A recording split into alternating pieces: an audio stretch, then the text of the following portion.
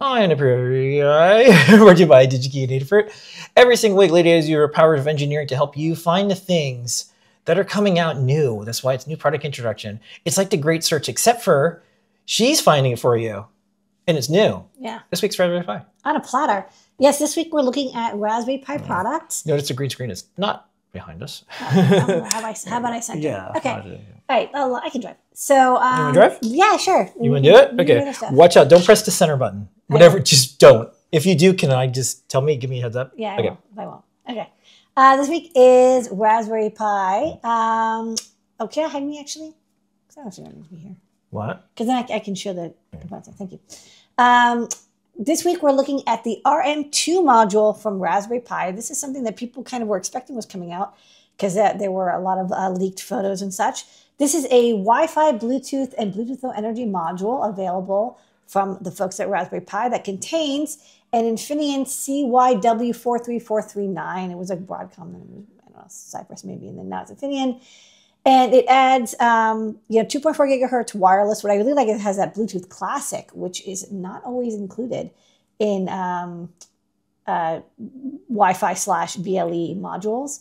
And it's got um, really great software support, and it's a tried and true and tested chipset. So this comes from the work that Raspberry Pi has been doing for like, a, you know, geez, 2015, a decade now. With the Raspberry Pi single board computer, starting with the Pi uh, 3, they've added um, a Wi Fi chip. So if you see the top left corner there, there's a little white rectangle.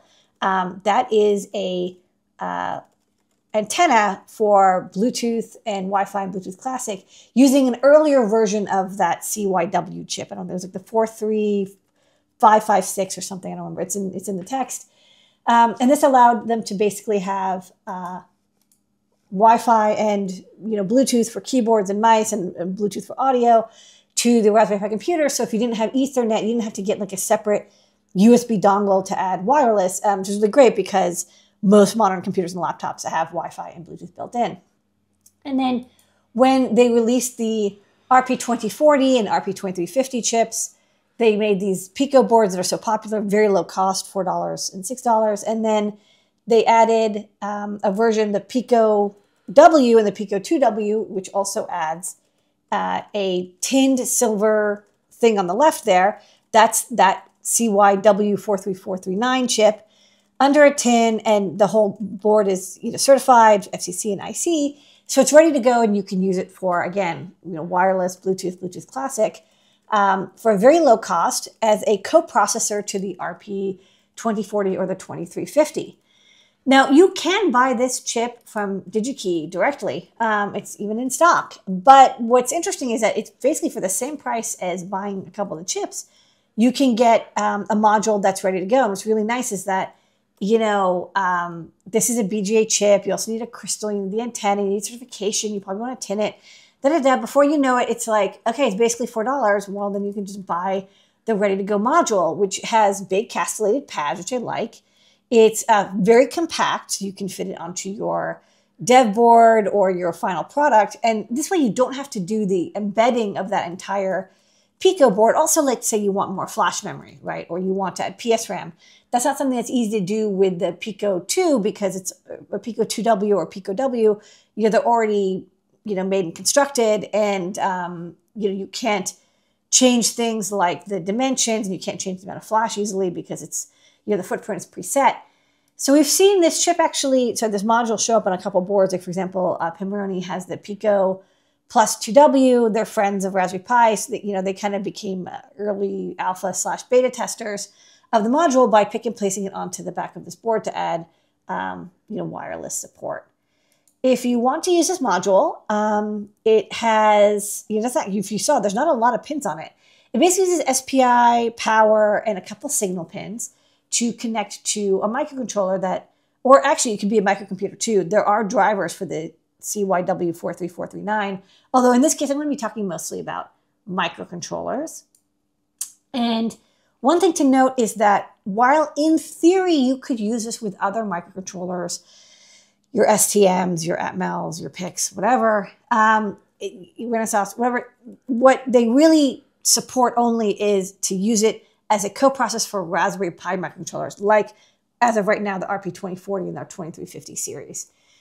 Now, again, there's nothing technically keeping you from connecting other things, but the firmware that's available um, through the Pico SDK is um, licensed specifically for use with the RP2 series. Um, the Bluetooth stack isn't, we'll show that, but the Wi-Fi firmware, which was written, um, you know, with a collaboration with another company, is not available for non-commercial uses without licensing, unless you're using it with an RP2 microcontroller. So basically, as long as you're using it with a Raspberry Pi chip, you're good to go. If you're using it with something else, you would have to license it. Um, that said, we did find another standalone Wi-Fi driver. We haven't tried it, but this would be MIT licensed, and maybe you know you would be able to use it. So I, I do think it would be cool for people to be able to use this with other chips if they desired. But you're going to get the best performance and capabilities and functionality with um, the RP2 series. And as I mentioned, there's also Bluetooth classic Bluetooth Low Energy. That's supported through BT Stack, which is completely free licensed. So if, for example, you want to use this just as a Bluetooth, you know, coprocessor for BLE or Bluetooth Classic, um, you just install B, uh, BT Stack, which is a, a cross-platform, low-memory microcontroller uh, firmware stack. And right now, there's only one part number, but it sounds like you know, based on their part number classification here, they might eventually have a version that has five gigahertz. Um, they might have versions that does Wi-Fi six or more and different uh, Bluetooth standards. But um, right now, they only stock the RMC 2452. Everyone sort of calls it the RM2 module, but um, that's the correct part number. And it's in stock at DigiKey right now. You can purchase it four bucks in quantity. You can get it on tape and reel for immediate picking placing. It also is not too bad to hand solder if you so wanted to. Yeah, one that's the, it. One of the neat things about this is it was developed kind of in the open, Yeah. right? Yeah, yeah, yeah. They weren't, they weren't too secret about it. There were because people saw that there was dev boards it, with this. it chip helped us out. We Yeah. we have things that we we've made um, under this friendly type thing. Yeah. It's possible, everyone, and they get they hit the ground running. Yeah. I think this is pretty good. All right. Good that's, pick. That's INPI. So pick some up. Available at DigiKey. Eye on NPI.